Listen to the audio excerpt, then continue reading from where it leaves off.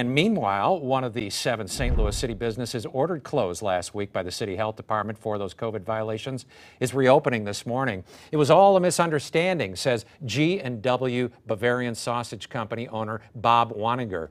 He added, it's been cleared up. Several weeks ago, three G&W employees contracted COVID-19 but were in quarantine and not at the South St. Louis meat processing plant on Parker Avenue.